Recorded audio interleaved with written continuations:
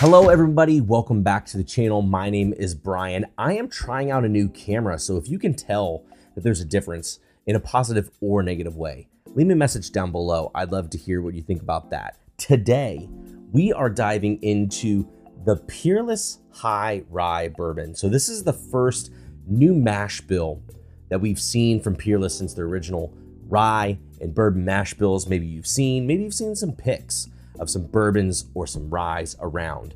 Now, Peerless is a brand, it's downtown for me on the opposite side of town, Louisville, Kentucky. And one that I've been uh, privileged, uh, I know John, uh, we work with him in regards to the coffee side of things for Stave and Bean, which is their barrel aged coffee uh, venture that, that he has there. But one thing I've learned with him doing uh, kind of the barreling, the barrel pick process, is that, man, they have a lot of variance in flavors too the ryes, the bourbons, all types of stuff. And maybe some of the things that I had previously tried on the shelf weren't necessarily indicative of all the flavors that you can find at Peerless. And through the pick process, either ones that I've done, done with other groups, or tried from some single barrel expressions that he has let me try, man, tons of really interesting flavors. A lot of great ryes, for sure.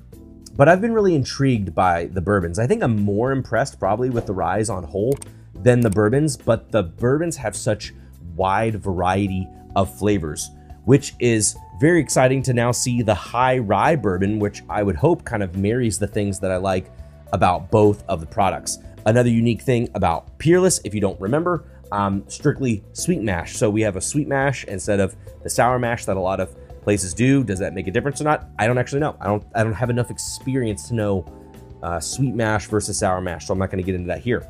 Non-chill filtered. This is 111. Nope, 110.5 proof that we're going to pop open with this one. And one of the things that I thought was neat about Peerless was overall the bourbons have been a bit more affordable than the ryes. Now this I think brings that MSRP back up a little bit higher. This is probably I don't know, around a $100 or so. And I want to say this is five and a half to six years in range on this product. But man, if you can't see, can you tell from this bottle how dark this looks here? Or even from this glass.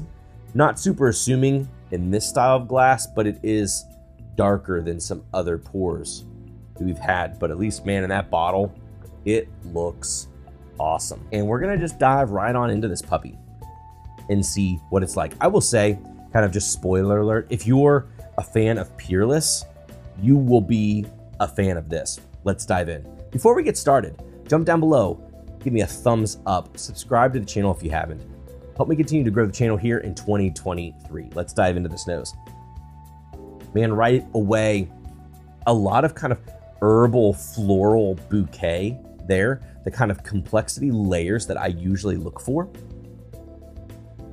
maple syrup meets like a kind of a licorice candy a little bit, maybe an herbal minty candy a little bit. Maybe some banana pudding and some wafer cookies as well in there. And then kind of a dark plum. There's a lot of dark, heavier notes to this that you usually have noticed in some of the older products that we've seen out of uh, Barton or brands that kind of have some of the older release products. You've seen some of these notes in wild turkey and such before. Very dark berry, mixed with leather, mixed with a little bit of oak.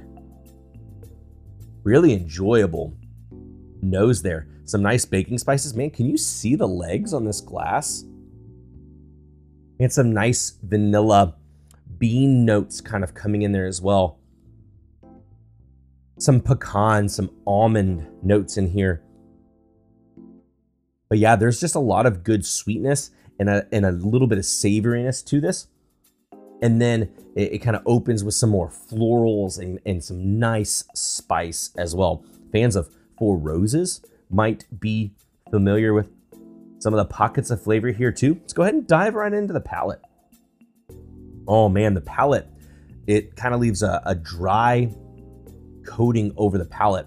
And let's talk about some flavors that are in that camp oak, barrel char, leather, raisin, coffee bean, flavors that kind of hit the palate and they start to dry a little bit.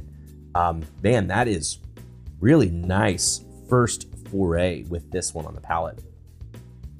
Big bursts of orange there. And then again with kind of fragrant floral bouquet that sweeps across the tongue while spice lines the side of the tongue. Very full.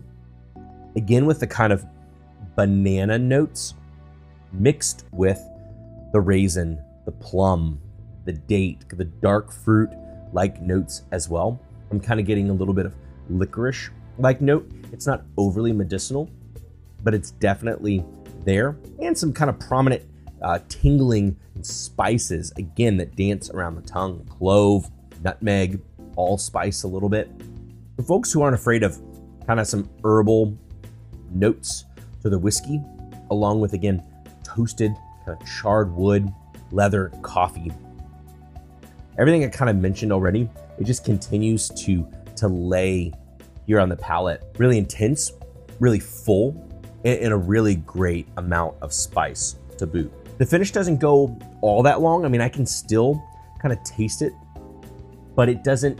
Uh, it lingers dry. It lingers kind of trailing with the with the memory of the spice that it had, with these kind of fragrant, perfumed like floral spices that kind of linger on. A little bit of caramel, chocolate, coffee, leather, and oak in there as well trailing into the finish. Now, not all the regular bourbons are overly savory. I've had some that have been pretty savory, and this uh, is a little bit more uh, balanced in that regard. I think what I like the most about it is the, the, the richness, the fullness that I get out of it, and leaving these really nice spice notes. And when I get into that pocket of the perfumy, fragrant, floral like notes as well, but not at the sacrifice of some leather and oak that hits a pocket that I really enjoy. If you're one who likes a little bit more spiciness uh, to your pour and likes the kind of flavor camp that I'm talking about now, keep in mind this isn't overly oaky. It's not overly leathery like maybe something uh, eight plus years old might be, but it's not got all the graininess, doesn't have all the youthfulness as well. So if you're someone who likes this kind of age range, but you want something that's got really great mouth feel for one, and then just like really exceptional flavor in terms of like kind of like a floral spice thing, I think you're really gonna enjoy this high rye Peerless. Let me know if you all have tried this one before. Let me know if you've tried Peerless at all and where you have leaned, whether you like their bourbons, their ryes, or if there's a specific one that you all have enjoyed. Thanks so much for tuning in to another video, everybody. I hope it was informational to you all. Until next time. We'll see you all later.